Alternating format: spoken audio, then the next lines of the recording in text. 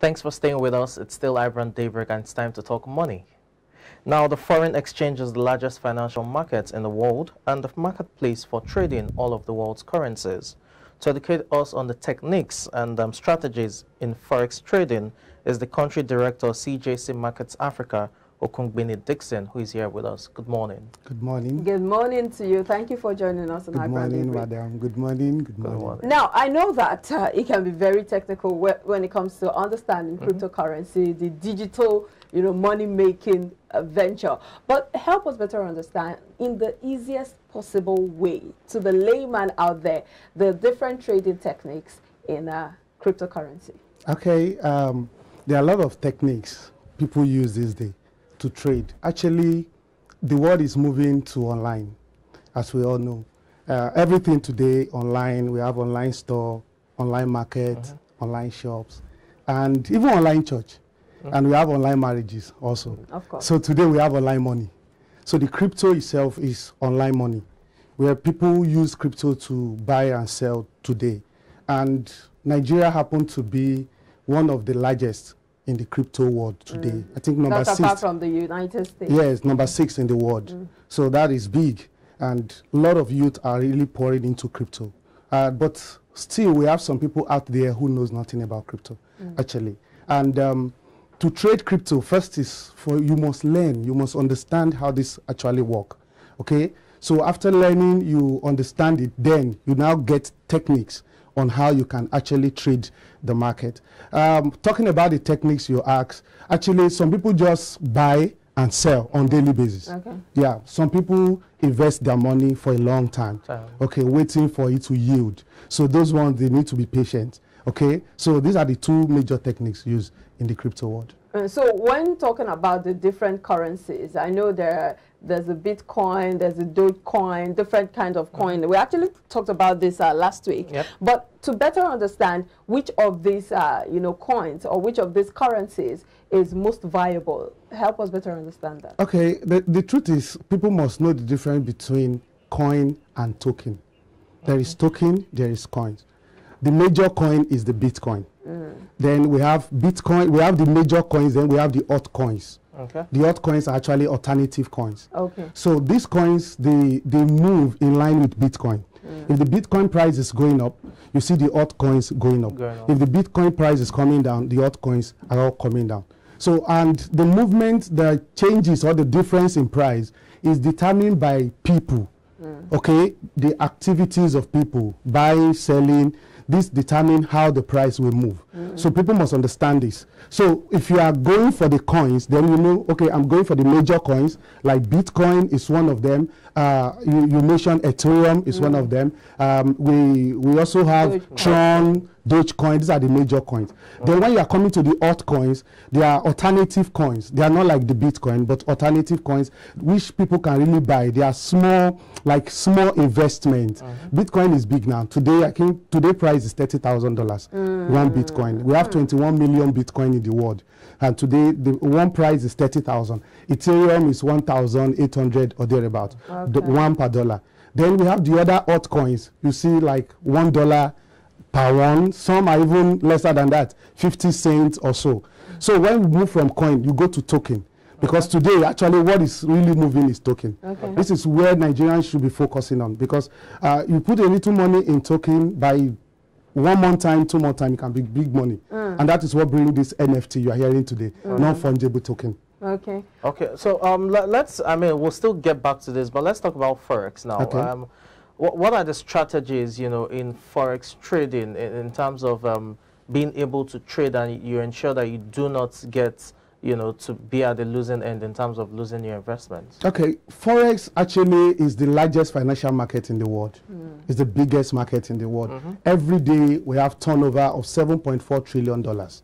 That is massive. No economy in the world has that. Mm. No nation in the world has that exchange every single day. It's only in the forex market. And it's because a lot of institutions, big banks, correspondent banks, and um, uh, individuals, big persons out there, they are trading in the forex market. Mm. And this forex market, if you're going to uh, trade in the market, you must learn.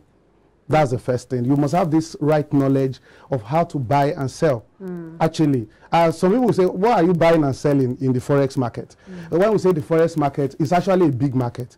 We have um, currencies. We have uh, metals like gold, like silver, platinum be traded in the market. We have uh, cryptocurrency also in the market. market. We also have uh, shares of companies, like shares of international companies like American company, uh, UK company, Hong Kong companies. All these shares are also traded in the market. So this make the market very big. So it depends on you in the area you are very good at. Okay, if you love trading oil, then you can go to oil in the platform and trade oil and make money for yourself. So for people to participate in this market, you must learn. That's the first thing.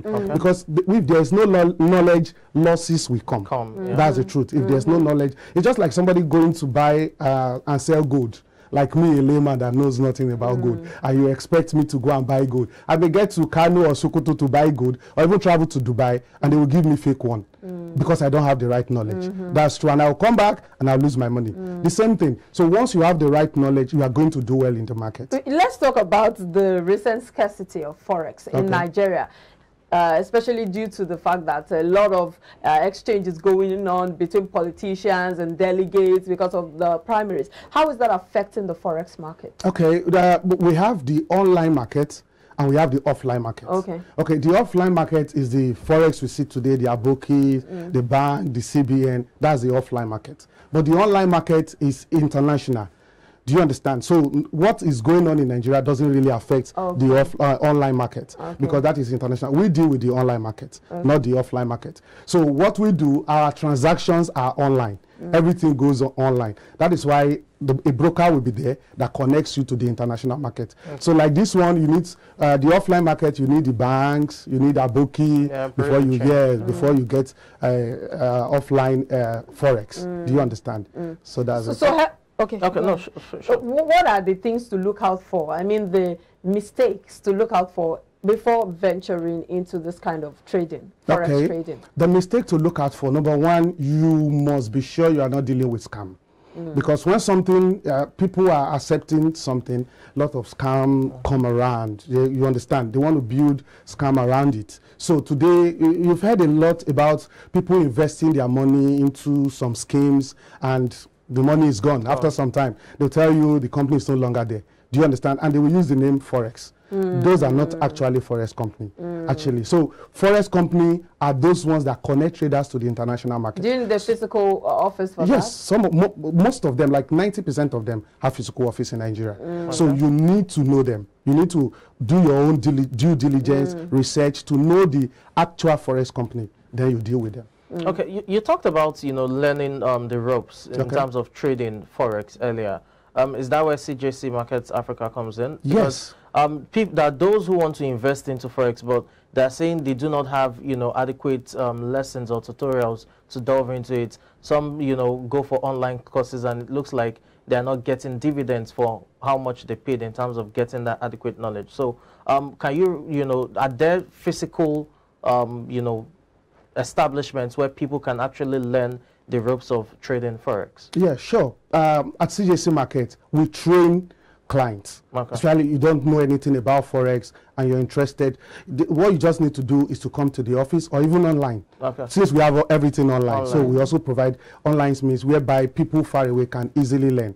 So when you come, we're going to take you from what is forex, basics, to advance. Okay. Everything you need to know, we show you, so that you become an expert and you go out there also and affect other lives po- uh, positively. Positively. Okay, so CJC Market actually tries to see how they guide people, teach them risk management, teach them all the nitty-gritty of the market, make Okay. people to understand the dynamics in the market so that you will know when and how and what to buy and sell at a particular time. Okay, um, a follow-up question would be for, for the average person, as we said, you know, a layman who is just trying to, you know, invest and delve into um, forex trading. Um, what would be the relative cost of, you know, um, investing in this? Like the minimum amount one can use to, you know, trade? Okay, uh, actually, uh, I, you, you always use the word invested. okay. it's not actually like investment. Uh-huh. You have your own account, it's your personal account you created, then you put a capital there, something you want to start up with. Right. You understand? So you don't really need a big amount. That is why the broker is there. For, before now, when the market was not uh, uh, open to the public, you need big amount actually to participate in the market. But with the uh, uh, coming of the broker, the Brokers. brokerage firm, little amount is enough because the broker will provide a leverage for you to run in the market. So clients with as low as fifty dollars, hundred dollars, that's enough to start. You need to test the waters. Don't just go and bring all the money you have in You the have, world and put it in the market. You must test the waters. Be very sure that what you have learned, because during the course of learning, mm. they will give you a demo account, mm. like a demonstrative Okay. account that you mm. test with and see how profitable you are. Once you see, okay, I think I'm making some profit, then you now test with life money. You know, life is different from them. Oh, definitely. because this is this time you are dealing with real money. Uh-huh. So you need to test with little amount of money, maybe fifty dollars, and see. Okay, I know what I'm doing. I'm very sure. Then you can increase your capital. Fifty dollars is actually not little. If you look at it, Yeah. but let's That's talk about about the tools. Exactly. So, that's not little. Let- Let's talk about the tools needed to start uh, forex trading. Okay, uh, tools needed to start forex trading. First, you need a, a mobile phone, like um, uh, our smartphones. You need a smartphone. If you don't have a smartphone, go and get one. But once you have a smartphone, uh, we will teach you how to turn that smartphone into money-making machine. So we call it like you are using that phone to make money for yourself. That is all you need. A smartphone connected to internet. Every other uh, tools like software needed will be given to you okay, by the brokerage firm. They'll give it to you, show you how to do it, show you how to go about it, and how to check your trade every now and then. And one beautiful thing about this is um, if you are into the forex market, it doesn't stop you from doing other things. okay. That is the truth. It doesn't stop you from doing other things. You can continue your day-to-day job, uh, your business, and so on. Why you still trade? How long does the training take? It depends. Depends on you. But mm, normally two weeks is okay. Uh, It's enough. Yeah. Interesting. Two weeks is enough. Um, I I wanted to ask for those watching, uh, would the training comes at a cost? Is there, uh, what's the price? You know, the Ah, cost? but brokerage firm at CJC is free. oh, the training is free. Free. So, so what Absolutely comes to you? Because I know you're not into business to give free services. Okay, actually, but we, you know, uh, as a brokerage firm, um, uh, I don't know, but I don't want to talk much about CJC for now. Okay, as a brokerage firm, uh, what we do, we we see a way of educating the public. Okay. Then some of them becomes our client. Okay. So when you are trading through our platform in the international market, Oh, yeah. you are going to be paying some little little commission. Okay. Uh, okay, just imagine we have hundreds of thousands of clients paying 10, 10 cents. Okay. You can imagine what will be coming, Coming in. So that okay. is where we get our Tha- money. that's fine. Just as we wrap up this conversation, um, I would like us to also talk about crypto just a bit. We did earlier, but Okay. you know, right now the world is agog with crypto. Um, you said earlier that um, tokens are the way to go for Nigerians to invest Mm-hmm. because that's more profitable and it's on a small to medium scale. yeah. You mentioned non-fungible tokens. What other tokens are there? Just as we wrap up the discussion? Okay, um, when people are coming up with a project, Mm-hmm. They will come up uh, as a token first Okay. before they mature into a coin.